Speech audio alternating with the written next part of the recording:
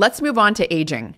Magnesium depletion is a slow process, so marginally low intake would likely take years to manifest, but it would still take a toll. It's likely a factor in aging and the development of chronic disease. So, I want to take a moment to discuss a concept that has been a significant focus in the field of nutrition, particularly a theory put forth by my mentor, Dr. Bruce Ames, who has introduced what is known as the triage theory and published several studies on it.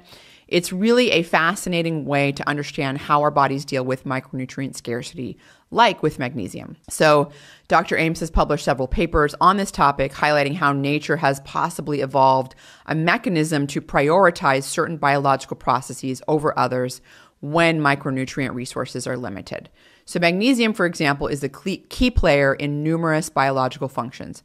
Some of these are critical for immediate survival and preventing diseases that could lead to acute life threatening conditions. However, magnesium is also pivotal for long term health processes like DNA repair.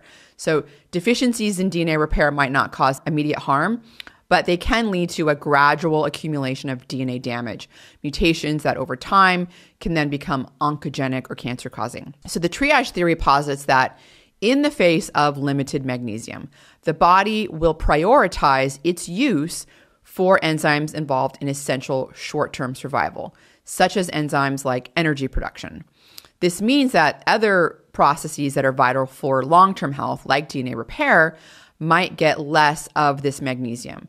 What's the end result? Well, we might not be getting enough magnesium we might be getting enough to avoid acute deficiency, even pulling it from our bones to maintain levels in our muscles and other tissues. We could be, you know, setting the stage for chronic health issues like osteoporosis down the line. So, I think this inadequate intake of magnesium and micronutrients in general can accumulate insidious damage over time. In the context of magnesium, when DNA repair and replication, which both do require magnesium to properly function, they aren't functioning optimally due to those inadequate levels, the accumulation of this damage can lead to these mutations, cell dysfunction, and potentially cancer development. And it's a clear example of how, you know, subtle long-term effects of micronutrient inadequacy or magnesium inadequacy in this case can contribute to the aging process and the development of chronic disease. So, we're talking about cancer. Let's dive in a little bit more in, into that topic. Magnesium does play a crucial role in DNA repair, and this has implications for cancer prevention. So, every day, our, our DNA is facing damage from both internal sources like metabolism and external forces, things like UV radiation, pollution, things like that. As we age, our DNA repair mechanisms naturally slow down, like everything else. But when we're also low in magnesium, it's kind of like throwing gasoline on a fire. The risk of DNA damage escalates. Magnesium is essential for the proper functioning of DNA repair enzymes. So consider the sheer frequency of cell division in our bodies. Millions of cells divide daily. With some tissues like our skin and an, intestinal lining, they have exceptionally high turnover rates. So, DNA replication, which is necessary to make a new cell, is really vital for that you know process of making a new cell. And magnesium plays a role in DNA replication as well. It's in, it's essential for the proper functioning of those enzymes called DNA polymerases. These are essentially the workhorses of cell division. Without adequate magnesium these processes can be compromised and this could lead to potential errors and mutations when you are making new DNA. Now, let's dive a little bit into the role of magnesium in what's called matrix metalloproteinases or MMPs. So these are enzymes, they're they're more like agents of extracellular matrix breakdown. They're involved in critical processes like tissue remodeling, wound healing, and magnesium deficiency can upset the de- delicate balance here with the activity of these MMP enzymes that also could potentially aid in cancer cell invasion and progression. So it plays a, a little downstream role um, in cancer progression and um, cell invasion. But again, I think it really highlights the sort of broader impact of magnesium on cellular health, cancer prevention, and it's really an important micronutrient that is just it's fundamentally you know intertwined with our body's ability to maintain what's called genetic integrity and to prevent the formation of, you know, oncogenic cells, which are cancer cells. So let's talk about a study that followed about over 66,000 men and women aged 50 to 76 years old. So this was part of the vitamins and lifestyle study or the VITAL study. It was from 2000, the year 2000 to 2008. Um, among the 50, 151 participants who ended up developing pancreatic cancer, those with magnesium intake below the RDA had a significantly higher risk of pancreatic cancer. Specifically, those getting 75 to 99% of the RDA, the risk was increased by 42%. And for those with less than 75% of the RDA, that risk jumped to 76%. But what was even more striking about that study was that for every 100 milligram per day decrease in magnesium intake, there was an increase in a 24% increase in pancreatic cancer incidence. So this was in a dose dependent manner. Every 100 milligram decrease was associated with a 24% increase in pancreatic cancer incidence. And what's particularly interesting here is also the role of magnesium supplementation.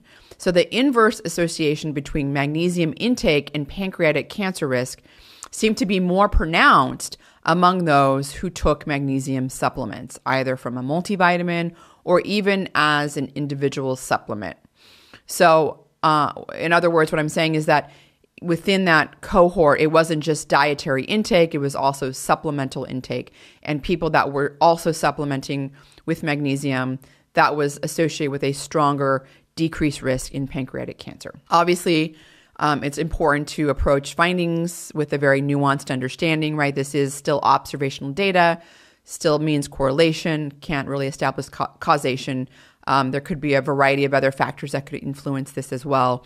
So it's always important to keep in mind when we're talking about observational data.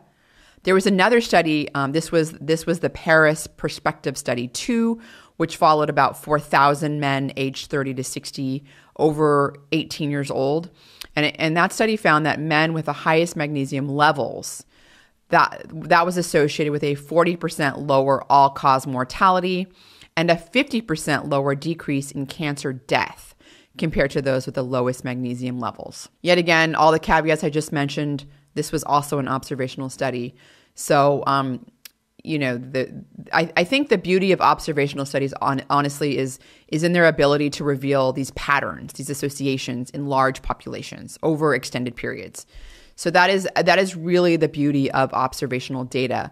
And then you know once you get that observational data you kind of need to approach it with a little bit more of a critical eye and and sort of also try to turn to some interventional studies as well um, with respect to cancer incidence, that's going to be very challenging because cancer takes decades to develop. So, um, having a randomized controlled trial with a supplement like magnesium is is going to be challenging, if not impossible, to do. So um, that's also something to keep in mind. But let's d- dive a little deeper into a meta analysis that examined both dietary and supplemental magnesium intake and their effects on mortality risks. So, diet- dietary magnesium intake was linked to a significantly lower risk of both all cause mortality and cancer mortality. So, specifically, for every additional 100 milligrams per day of dietary magnesium, there was a 6% reduction in all cause mortality and a 5% reduction in cancer mortality. And again, this was in a dose dependent manner. So, for each 100 milligram increase per day, that was you, you got those reductions. Um, so, I do want to point out that this was from dietary sources and not from supplemental sources. So it really could could be that there's just a, a barrage of things going on because um, you're talking about getting magnesium from you know sources of healthy foods. So what I'm trying to say is because foods that are high in magnesium, like leafy greens, they come with a they're packed with a plethora of other vital micronutrients and phytonutrients. You know, so these components collectively contribute to overall health. They're also a part of a food matrix that enhances their benefits. The analysis also looked at supplemental magnesium intake, and here's where things get intriguing. The supplemental magnesium intake showed a non significant positive association with cancer mortality risk based on three studies. It's important to note that non significant doesn't mean that there was no effect. Um, in fact, the p value that's used to determine significance can actually be quite arbitrary, but that's a whole other uh, tangent. but I do think it highlights the complexity of interpreting data. Similarly, there was a total magnesium intake, which looked at both dietary and supplemental sources. And um, that really didn't show any significant association with cancer mortality or all cause mortality. But there was a lot of what's called heterogeneity between studies. In other words, some studies did see an effect, other studies saw no effect. And so, again, it comes down to that mixed mixed data.